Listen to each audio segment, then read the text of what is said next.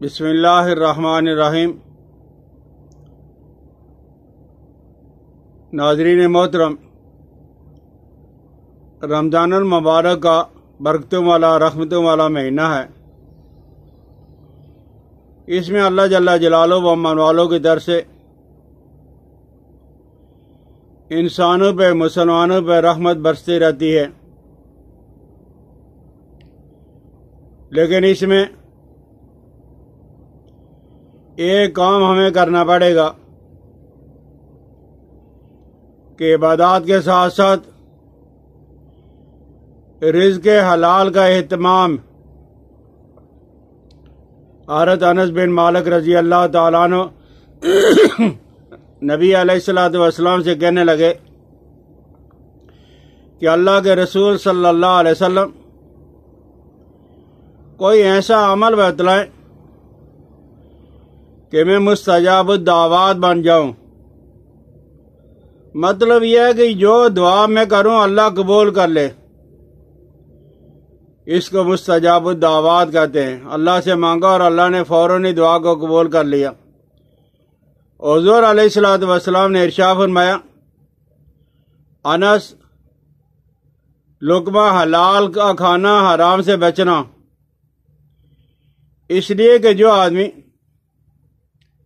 ایک لقمہ حرام کا کھا لیتا ہے۔ چالیس دن تک اس کی نماز قبول نہیں ہوتی۔ میرے دوستو، تین آدمی ایسے ہیں جن کی دعا کو اللہ رد کبھی نہیں کرتے۔ ایک مسافر، دوسرا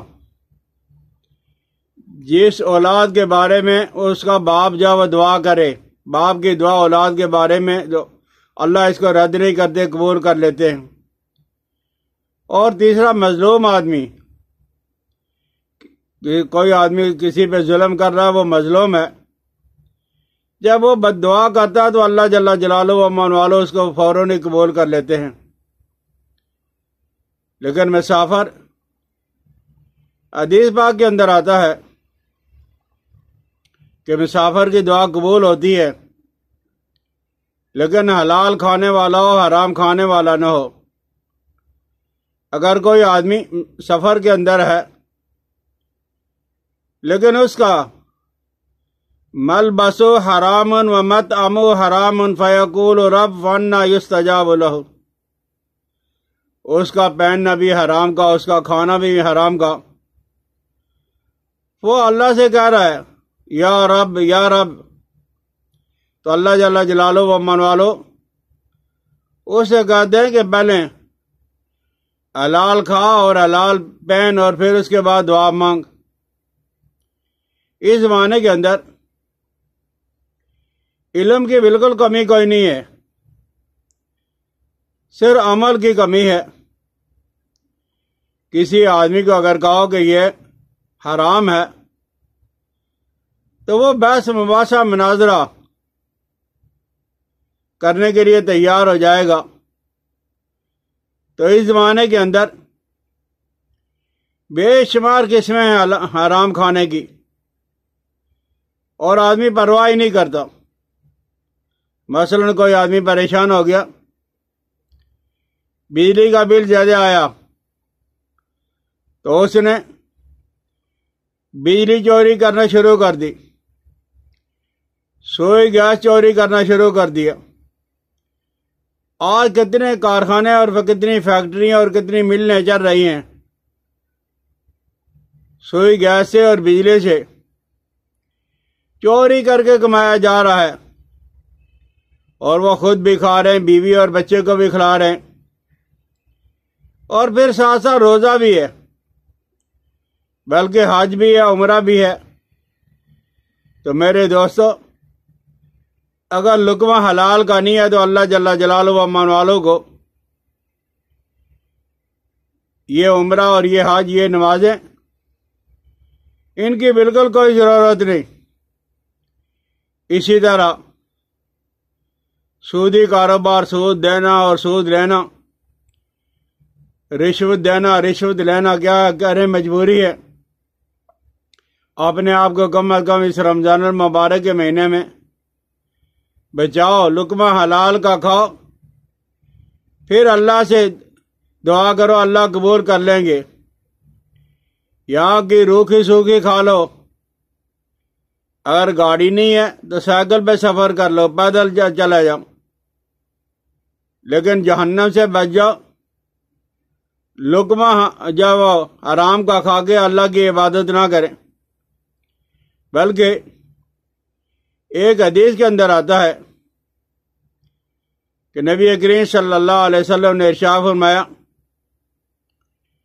کہ قیامت کے دن ایک آدمی کے نامہ اعمال میں اتنی زیادہ نیکی ہوں گی۔ آپ نے ارشاد فرمایا کہ تہامہ پہاڑ جتنی، بہت بڑا پہاڑ۔ روزے بھی ہیں، نمازیں بھی ہیں، حج بھی ہے زکات بھی ہے، صدقہ بھی ہے، خیرات بھی ہے لیکن وہ حرام طریقے سے اس نے کمایا ہے۔ اور وہ نیکیاں کل عدم ہو جائیں گی، برباد ہو جائیں گی۔ ایسے ہو جائے گا جیسے انہوں نے کوئی نیکی کا کام کیا ہی نہیں۔ حضور صلی اللہ علیہ وسلم نے ارشا فرمایا کہ یہ آدمی نمازوں کا اہتمام بھی کرتا رہا، نفل بھی پڑھتا رہا، صدقہ خرات بھی کرتا رہا، نیکی میں بڑھ چڑھ کر حصہ لیتا رہا۔ لیکن وہ لکمہ حلال کا نہیں کھاتا رہا، بلکہ حرام کا کھاتا رہا۔ تو پھر اللہ جل جلالو و والو اس جری اور آزاد انسان جو حرام کھانے میں جری تھا، بہادر تھا۔ اس کی کوئی نماز روزہ قبول نہیں کریں گے۔ اللہ سے رزق حلال مانگا بھی کرو۔ اور علماء اکرام نے یہ تو پوری سال کے لیے، لیکن رمضان المبارک کے مہینہ میں بڑی مزے اور بڑی خوشخبری ہے۔ وہ کیا ہے؟ ایک منٹ کے اندر دس لاکھ نیکی کمانا۔ اور دس لاکھ صغیرہ گناہ معاف کروانا۔ وہ کیا ہے؟ آپ بازار میں تو جاتے ہو۔ جب آپ بازار میں جائیں تو اس وقت یہ دعا پڑھ لیا کریں۔ اشد اللہ الہ الا اللہ وحدہ لا شریک لہ۔ لہ الملک ولا الحمد۔ یحیی و یمیت و حی لا یموت بیدی الخیر۔ وهو علی کل شین قدیر تو آپ نے ایک منٹ کے اندر اندر دس لاکھ نیکیاں کما لی ہیں۔ اور دس لاکھ جب صغیرہ گناہ اپنے جب معاف کروا لیے ہیں۔ یہ بڑا سستا اور سہل اور آسان سودا ہے۔ کم از کم رمضان المبارک کے مہینے میں یہ جو لوگ کہتے ہیں کہ ہم کام کرتے ہیں۔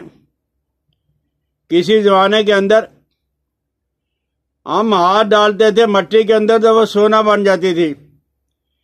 اس زمانے کے اندر، سونے کے اندر ہاتھ ڈالا جاتا ہے تو وہ مٹی بن جاتا ہے۔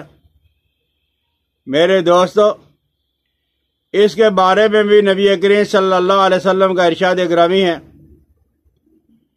کہ صبح کے وقت اور شام کے وقت بسم اللہ پڑھ کے، درود پاک، نماز والا پڑھ کے۔ صرف سات دفعہ۔ حسبی اللہ، لا الہ الا و علیہ توکل تو رب العرش العظیم۔ یہ سات دفعہ پڑھ کے۔ اللہ جل جلالہ و امن والوں سے دعا کیا کریں۔ انشاءاللہ لذی آپ کی دعا قبول ہوگی۔ رزق حلال مانگو گے تو رزق حلال بھی ملے گا۔ تو رزق حلال اگر کھا کے رمضان المبارک کے مہینے میں تھوڑی سی ہی عبادت کر لو گے۔ روزہ رکھ لیا، تراویح پڑھ لی، فرض ادا کر لی۔